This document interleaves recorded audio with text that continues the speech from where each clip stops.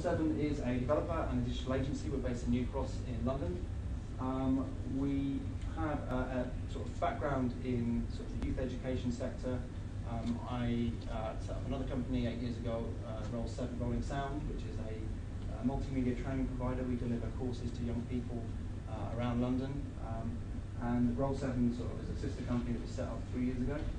Um, and really our sort of main aim is to develop computer games that make a difference. Um, and hopefully with what we've just developed, we've got some way to achieving that. Um, NeuroSky. Here we go. This headset here, um, and I'll pass it around in a sec. Um, in 2008, we were introduced by the Serious Games Institute in Coventry to um, NeuroSky. It was a prototype phase at that stage.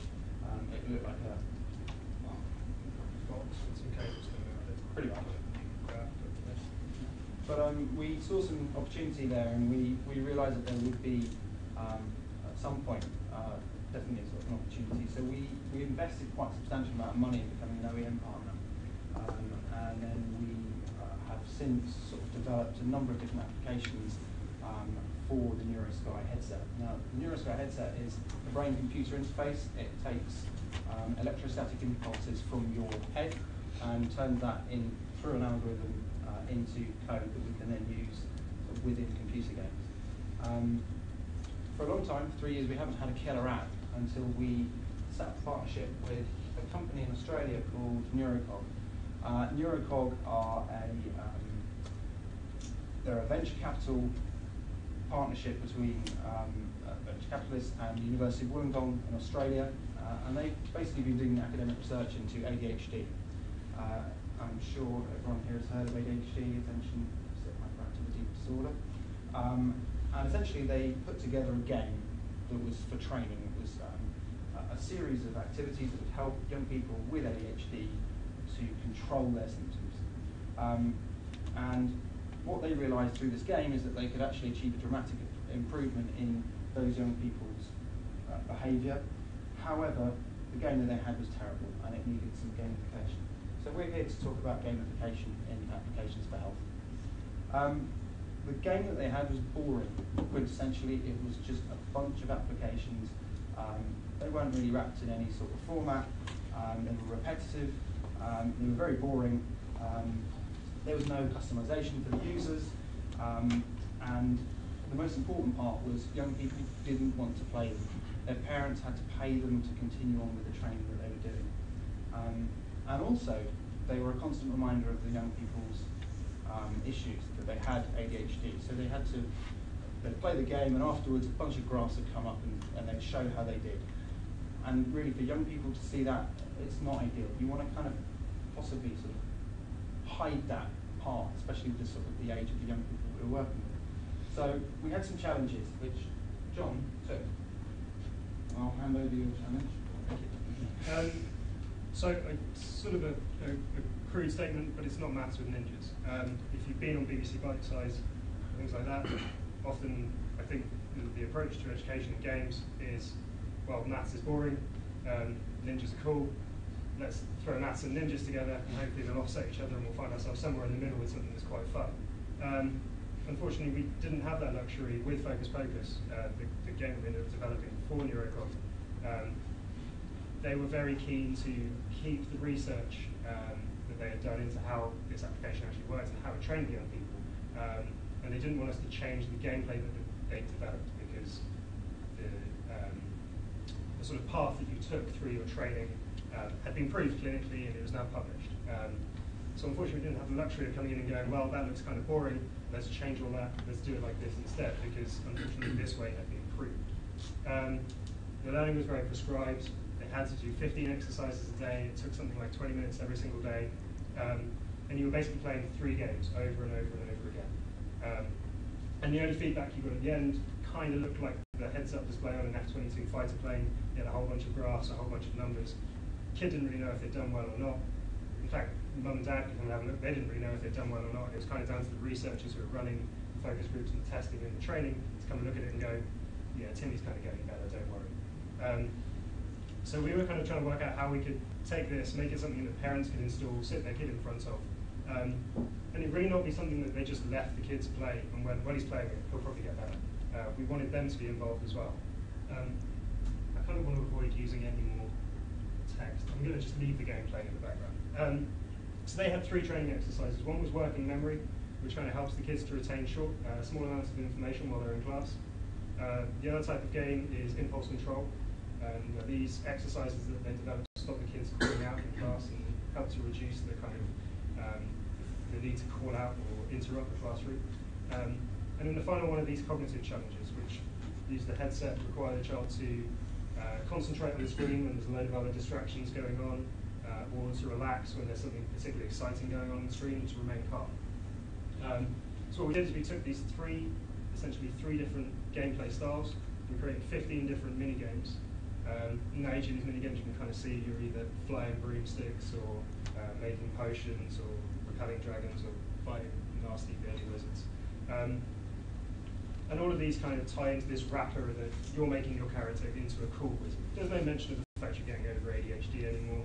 Um, the better you do at getting over ADHD, as far as the kid's concerned, the more spells they can do, the more stuff they can fly, and the further they can go. So at the end of every single game, instead of getting a whole bunch of graphs and like scary numbers and stats, uh, the child just gets between one and five stars. Um, now, one thing that was really important for us is obviously if the kid does badly and keeps doing badly, they're not going to want to play anymore. Um, so you even get rewarded if you do really badly. You still get one star. You still unlock stuff. It's just not quite as cool as the stuff you unlock if you get five stars. Um, and there's literally hundreds and hundreds of things they can unlock. Um, now, as as kind of said before, there's no point in unlocking something if like it doesn't go anywhere. Like, great, you did really well. You got a wand. Awesome. But what can I use it for? Well, so what we wanted to do was create a system of kind of carrot-based learning. Ultimately, the training exercises that they developed weren't that fun, and we can wrap them in this wizard thing, we can kind of make it interesting, but it still doesn't get around the fact you're going to play 15 games 12 times a day for 25 days. Um, that's going to get tiresome. So what we created, on top of unlocking all these items, you then get a boss level at the end where you fight a really badass wizard. Um, and every day he gets kind of harder to beat, and he's got more spells to shoot at you, he's got more magic that he can do with you. The better that you've done in your training, and all the items you unlock during your training give you more powers, more abilities, you can like jump higher and create land and shoot lightning. Also on this bit here you can see a whole bunch of little numbers by the side of your spells. The better you do throughout your day of training, um, the more of the cool spells you can do when you're fighting the boss in this last challenge level. So if you do badly, you've got a bunch of the like standard spells, you've got a bunch of stuff you can do. If you do really well, suddenly you can like shoot lightning out of the sky or blow the whole guy up in one go. Um, and the other aspect we, were, we wanted to was really to involve the parents in the training. I think there's a lot of stuff like BBC Bitesize and also looking at things like Moshi Monsters, a lot of parents go, well, it's okay because there's maths and uh, he's doing some maths. Well, how's he doing maths? I don't know, he's just going doing some maths. Um, so what we wanted to do was give the parents like control over the learning without the child really being aware that mum was looking over their shoulder. So there's a separate web app, which unfortunately is still building, so I can't show you a whole bunch of cool footage of it. But the parent can log into the website and see more statistical feedback on the, how their child's doing, whether they've leveled up, whether they've leveled down, how much they've achieved. Um, and the parent also gets feedback, uh, also gets questions. So every five days, um, back up and the parent pops up a little thing says, has Timmy been good in the real world today?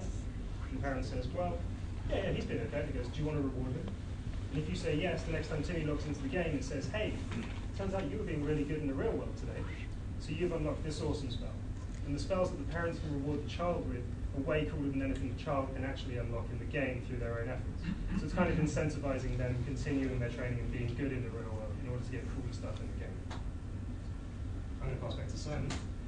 So um, just for people here who are more business-minded, um, the game itself, uh, there's a pro version with the parental feedback. Um, that's uh, 199 pounds with the headset. We've already had um, over 50,000 pre-orders um, from distributors all around Southeast Asia. Um, there's a big market for this in South Korea, China. we have equity in the project, although we were paid to develop it. It's a slightly different model of working, but definitely worth looking at. Um, and we just received funding from the Singapore government to set up a research and development centre over there to develop three more of these games. Um, and we're currently looking at investment in the UK. So it's a number of different things going on. I won't cram it all in ten minutes, but if you're interested in any of the nonsense that we're doing, come and see us afterwards. Thanks. Thank you.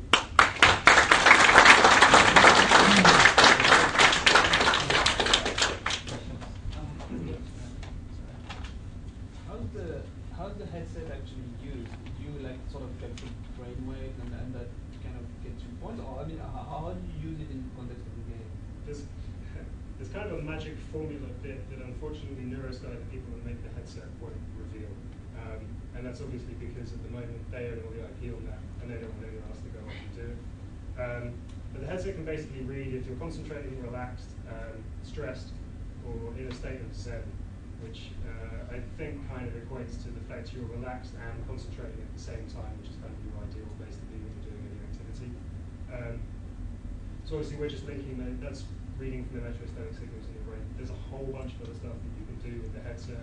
Uh, we can do a thing called ERP, which is event-related potentials, uh, where we can flash a bunch of stuff on screen and we can kind of look at your response, like when your brain blinks when you see the thing flashing that you want. Um, so you can start to like, pick things on the screen.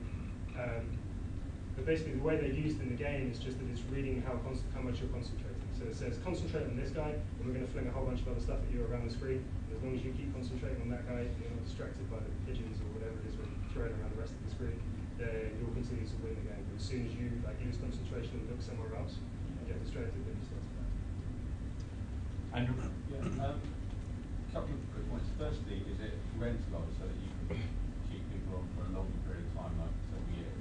And secondly, have you published in um, scientific journals the performance of this The against research- placebo and against drug treatment? Yeah, the research, the research has been published. yeah. It's not our research; it's the University of Wollongong. Is it actually published on the game itself? Or is it It's researched on the on the um, the initial dynamic that the game's based on. This is uh, a far more advanced version than that. So they'll be, they'll probably be doing some eventually, but because this is essentially the same games, yes, it's it's. It, it I'm really interested to see how it performs drugs. Sorry. You're really interested to see how it performs drugs. I mean, ultimately, that's their, their goal over the last 15 years of Wollongong University has been to um, develop games and software that could effectively replace Whistler, because they don't, you know, they don't want a whole bunch of drugged up kids. They want just play games that.